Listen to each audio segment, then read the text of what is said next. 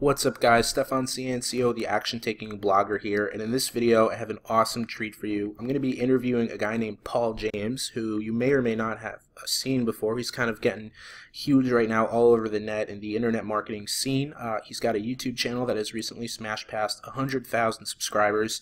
Um, he's one of the most honest, uh, you know, marketers that I know. Very humble, great guy. I've had the pleasure of meeting him before at a convention, and uh, you know, I decided I wanted to get in touch with him and just kind of get a feel for how he's been crushing it, and, and really see if he can pass down some information to you as a loyal action-taking subscriber here um, and you know just where the state of the market is, where he sees it going, and you know we had a really really great talk. So um, before we get into it, I'll just say uh, if you want to join in the Action Taker tribe here, you know we're going for 10,000 subscribers minimum. That's the goal. So go ahead and smash the like button on this video, smash the subscribe button, and hit the little notification for the bell to make sure you get notified of future videos. And if you have any comments after the interview, please comment under the video. I'd love to hear from you. Uh, additionally, before we get into it, you could find Paul at his channel at I am Paul James. That's his uh, YouTube tag, and you could be able to subscribe for him. Definitely subscribe to him as well. He's got great content. You can find his website at www.pauljames.com. All right, I'm going to get into it. Here's me and Paul.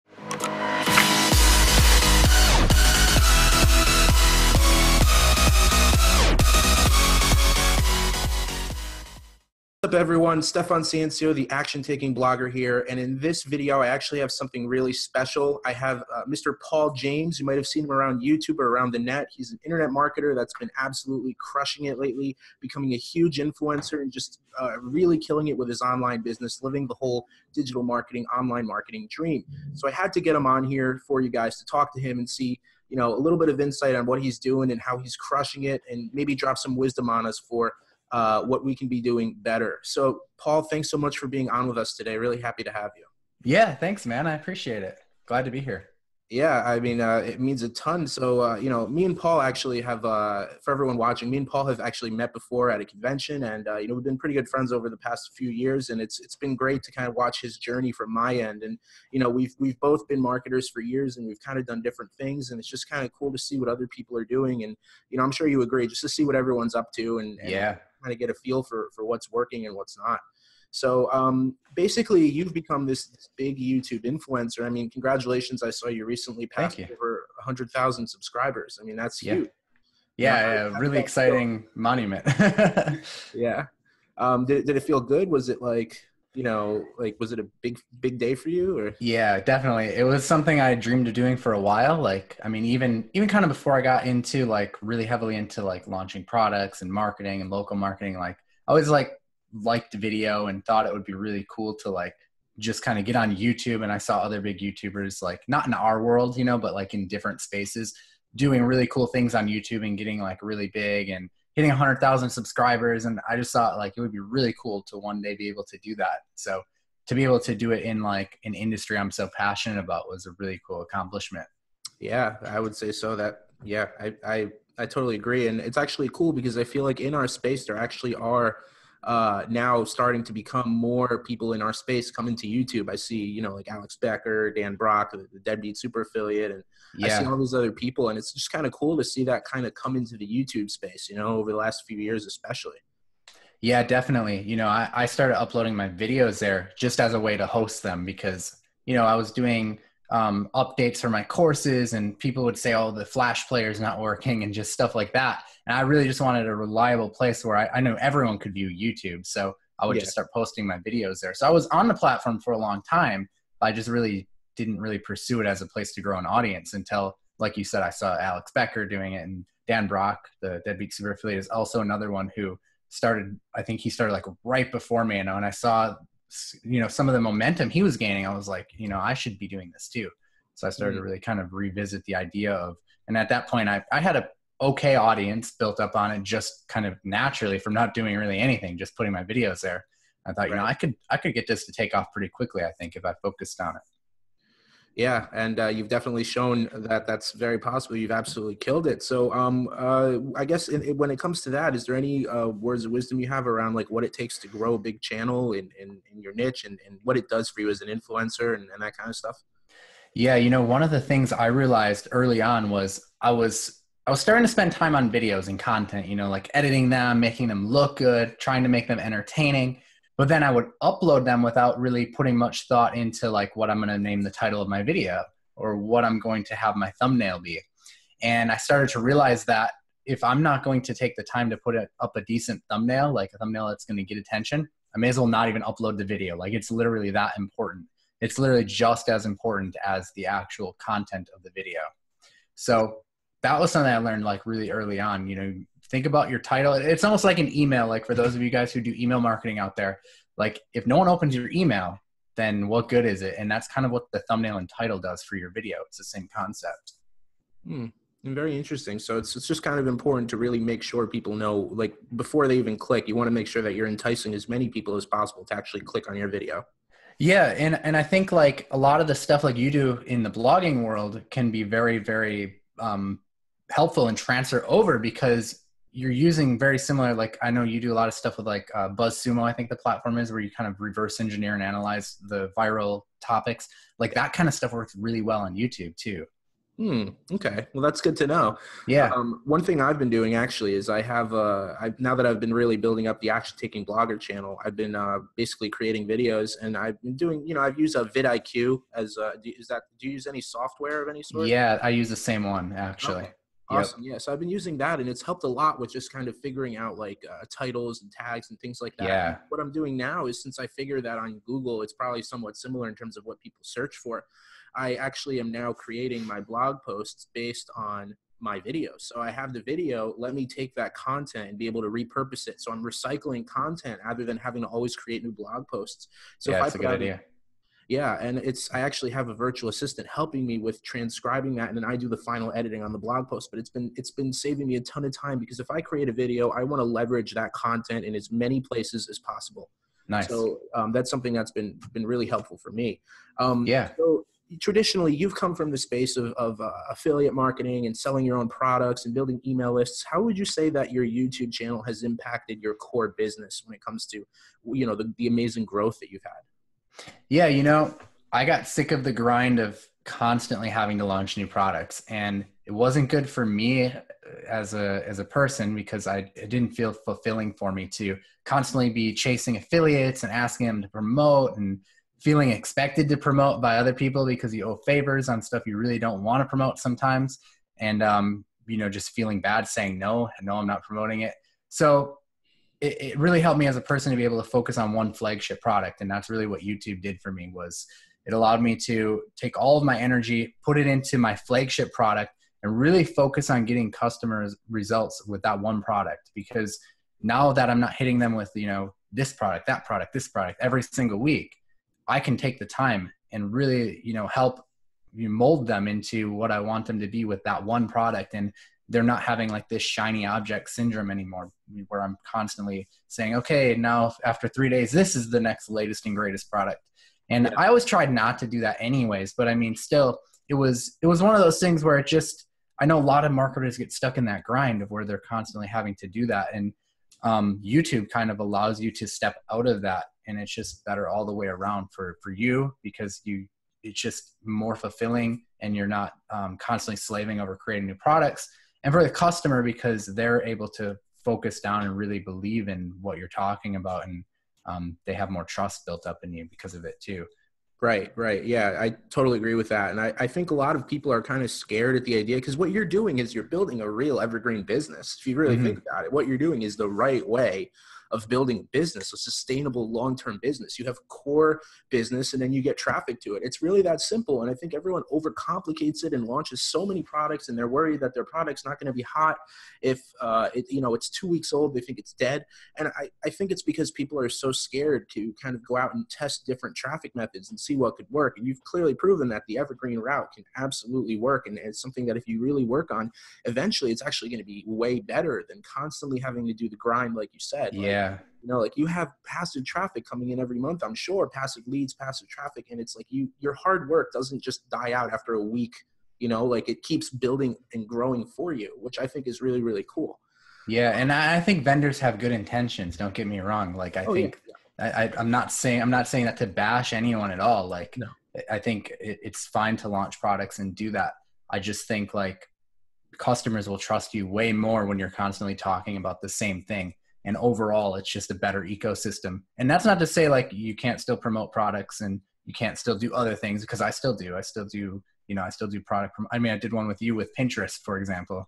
Yeah. and um, if it's a good fit and it fits what you're talking about at the time and it's helpful it's going to do really well you know people are going to be really happy for it. And we've had a lot of happy customers on the joint venture we did with that. So you know it's just it's just having a good balance really. And um, i think that's really what it's all about yeah, I totally agree. And you know, as a vendor myself, it's like you know, um, I don't think it's a bad intention thing. I think it's honestly for a lot of vendors, it's a fear thing. It's like mm-hmm. I feel like my product isn't you know isn't something that I know how to drive traffic to evergreen, so I'm going to just launch new products every month. I don't think it's like a, a good or bad. It's more of like a fear of going into the unknown. You know. Yeah. So, um, you know, I think you are really, truly, um, what's the word? Uh, someone who like, oh, a pioneer. You know, you're really like a pioneer of like the YouTube space for art for the digital marketing, internet marketing, create your own business type niche. I think because there really isn't that. There's there's people doing it, but there's not that many people doing it. Yeah, it's still relatively new.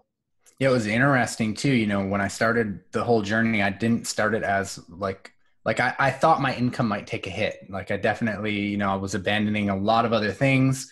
My local marketing business, you know, I was starting to not take on any more clients, just kind of leveraging the existing ones I had and working with them and then turning away other people just because I needed to have the time to focus on making YouTube videos and content and I couldn't make any more courses. I had to just stick with what I had. So I went into it thinking my income might take a hit, but I'm okay with that. I'm going to spend the next year focused on building my influence. And that was really my main goal. Like I figured if I could build my influence, the income will eventually follow.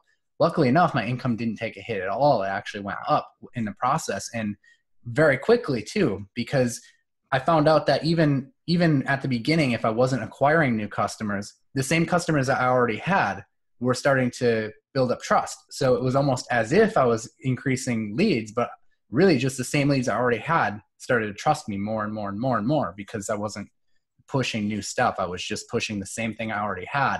And it just took that rapport and trust building over time to really get them confident enough in me and in themselves to buy and, and pursue it. Right. Yeah, I, I totally see that. And it kind of makes sense, right? You know, everyone's always said content is king, but when you really do put out consistent content, it really does just build that trust. And everyone's like, wow, this guy's really serious. He's been around for so long, putting out all these free videos. I trust him. You know, mm-hmm. he's not like some fly by night, like put out one product and then disappears or something like that. You know, it's a totally different thing. So yeah.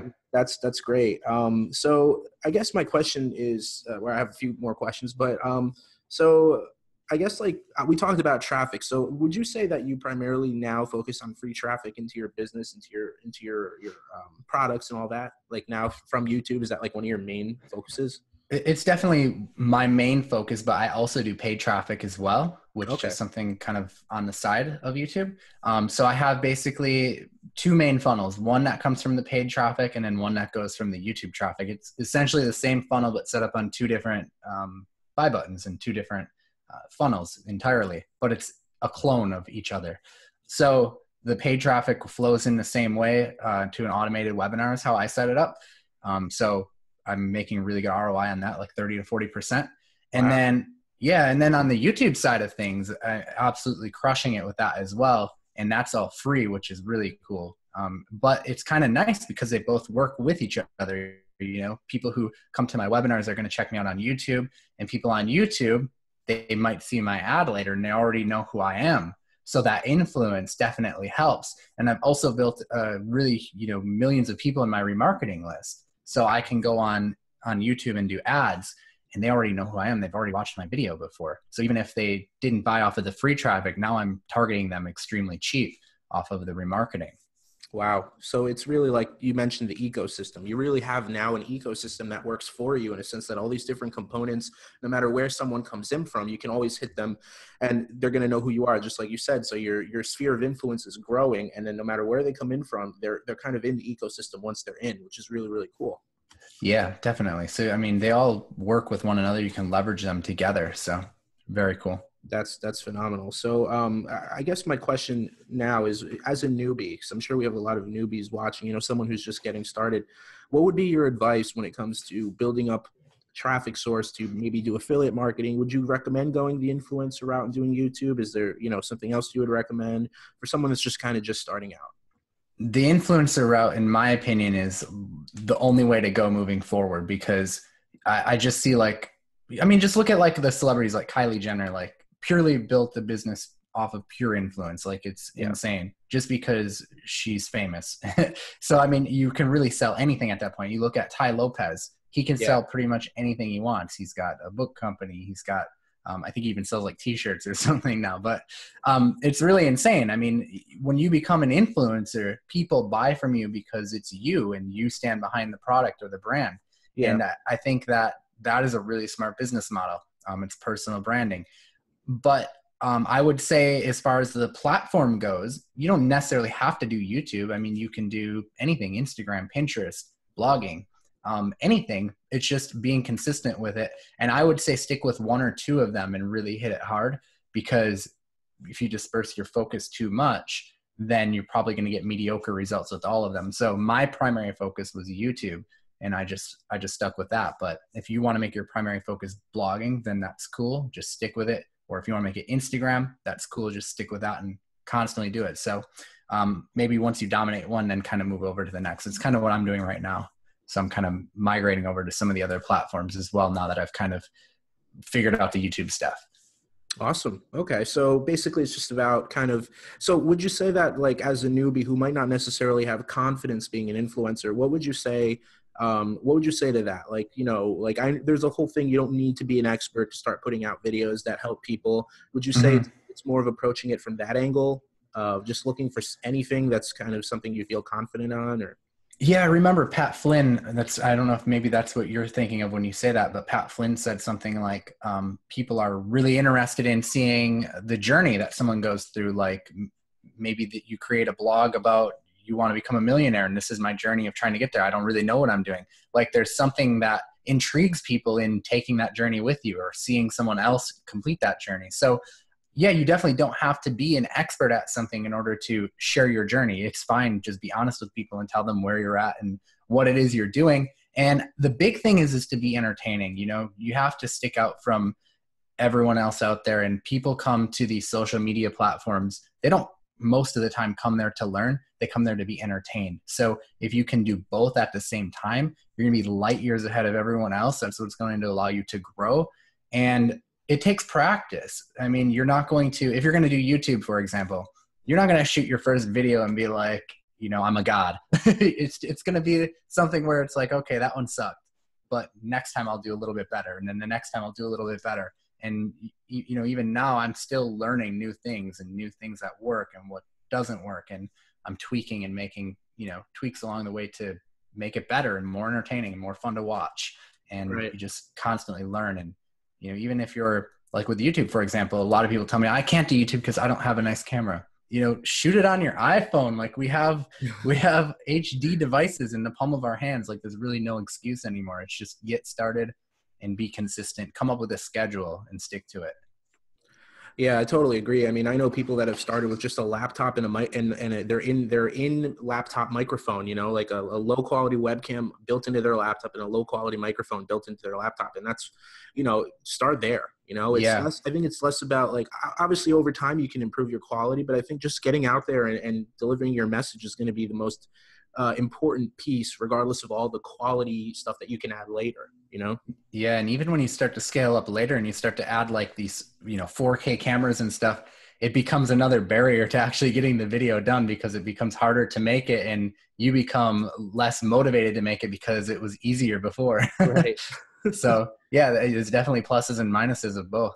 Yeah, I mean, I think there's one guy I followed uh, recently, uh, Tyler Pratt, and I feel like every video is just him uh, with with his laptop, and he's got like sure. a little little webcam, and I think he's got like eighty thousand subscribers. So you don't yeah. have to have like the quality stuff is great, and if you strive for quality, more power, and I that's eventually the route I'm going to go as well. But mm-hmm. even if you don't want to do the extra bells and whistles, you could still have huge success keeping it simple. You know? Yeah, I mean, I have a lot of videos where I just don't have the time to set up the camera, but I have a great idea I want to get out and I shoot on this webcam. Right. Uh, Paul, that we're talking on right now, which is just a Logitech webcam and my uh, Blue Yeti mi- microphone, and sometimes even these. you know, if I have You still there? It looks like I lost you. I could sort of hear you. Hello? Oh, there you are. Yeah, uh, I think Okay. we're okay now. Okay. Um, yeah, uh, sorry. Uh, Okay. I think I'm okay. Good. We're okay. Um, so, uh, sorry, the last part you were saying was about something with your headphones or your. your Oh yeah. So I was saying, even if like I'm traveling in Florida, I'm bringing my laptop and I might just shoot a video using the microphone on my, you know, Apple headphones. Right. So Yeah. it's really like whatever you have available to you at the time, tell the story that you're going to tell because the story at the end of the day is going to be what sells it and it's going to be the entertainment value of it. And Yeah. Everything else is just a tool to tell that story. Yeah, I kind of look at it like 95-5. Like 95% is the co- the content and the, the 5% is the, the polishing of the content. At least that's how I look at it. Like you want to Yeah. be 100% as often, but if you can only go 95%, then just make sure you go 95%. Yeah, it's better to get something out than to break your schedule and not do it at all. Yeah, that totally makes sense. So, um, okay, so how has having like, you know, you have your YouTube channel, but obviously, you know, you have a site as well, you have a blog. So, how has having that centralized place where people can know who you are, how has that impacted your business? Yeah, I mean, everything is perceived authority, right? And just putting yourself out there on the internet with a blog and and having your own domain name and stuff that people can go to is definitely going to boost that perceived authority. So um, it- it's all part of the ecosystem. It, it gets people to opt into your email list. It gets them reading more of your content. It gets them learning about who you are and where you've been featured. So it's very important in the grand scheme of things for to keep everything connected. Yeah, that totally makes sense. Um, how have you found that, like with YouTube, like have you found that people that have come to your email list from YouTube and come to your site, have you found that they're kind of like pre-qualified in a way to already trust you because they have seen your videos and they have a feel that they actually trust the person that's there because they have they have an idea of who they are? Have you noticed a difference as opposed to like another traffic platform where they may not have may not have seen any of your videos before? Yeah, definitely. So like versus if I'm driving cold traffic to my webinar, you know, they're going to have to go through weeks and weeks of sequencing before they're actually warmed up to trust me enough to purchase a product from me. But with YouTube, on the other hand, I'll have people come in and watch the first webinar and boom, they buy. It's because they already know who I am. They've already, I've already built that rapport with them. You know, they know what I have to offer and I probably could send them to just a, a little sales page or even like a, a text document at that point and they'd probably buy because they know what to expect from me they trust me and they they just know my character uh, whereas someone coming from cold traffic or maybe off of a product launch they maybe were introduced to you from an affiliate which is still good still warm traffic but they still might not totally know you yet Yeah. Yeah, it's kind of like the idea of like a faceless, nameless person that's supposedly helping you online, you know? Suddenly Yeah. when you have a video, you're not so faceless and nameless anymore. So it's just it kind of I guess it's like basic psychology, right? Like you actually Mhm. see the person that you're that you're interacting with and say, "Okay, it's kind of like meeting him in person, you know? Like I feel like I know him. I feel like I can trust him a little bit more. He's he's he's not afraid to show himself." You know? Yeah, exactly. And, and people do really get to feel like they know you. Like I was in Florida and someone came up to me because they saw me um, on YouTube and they, they recognized me. So people Oh, really wow. get to feel like they know you. Yeah. And they, they start to, you know, they start to watch your videos and, and you just stand out to them. So it's pretty cool. It's a, it's a really cool thing to, you know, be, be able to share your life with people and they get to know you and trust you. And um, yeah, you get to help people. It's great. Yeah. You're getting famous, Paul, already. Coming up to you. yeah, yeah, it was definitely a pretty cool experience for sure. That's great. Yeah. Um, so I guess um, at this point, um, you know, we've we've covered a lot, and I, I really thank you for for being on. I do have one closing question. Um, do you have any closing advice to anyone who's just starting out, maybe watching this video, on you know what route to go down, what they should be focusing on? I know you mentioned influencer marketing before, but do you have any other, I guess, like a closing statement, like a definitive closing statement? Yeah, it would be pick your platform number one. You know, whether that be YouTube, Pinterest, Instagram, a blog. I would say a blog should probably be in it no matter what, and then pick your social media platform of choice that you're going to grow on, and come up with a content schedule that you're going to stick to. You know, I would recommend, especially with YouTube, I would recommend like two to three times a week, but make sure it's something you stick with. You know, if you can do every day, that's amazing, but most people just aren't going to have that capacity. I wish I could do it, but I just can't right now. Like I just, I've tried, I get burnt out. And there's nothing worse than the burnout phase. Like I see people do these like 30 day video challenges. And what ends up happening is maybe or maybe they don't complete the challenge, but even when they do complete it, they end up not uploading for like a week or two because they're Mhm. just so burnt out. And nothing will kill the algorithm with like YouTube more than not uploading or breaking your schedule. So come up with a schedule you can stick to. Maybe it's two or three days a week and do not break it. Just force yourself to get that content out. If you can plan it ahead of time and um, have it scheduled up, that's even better because then you've got time to play with. If you know something comes up where you can't do the video, you've got one on the back burner that you can put out there. If it's an Instagram post, you've got one on the back burner already queued up, ready to go.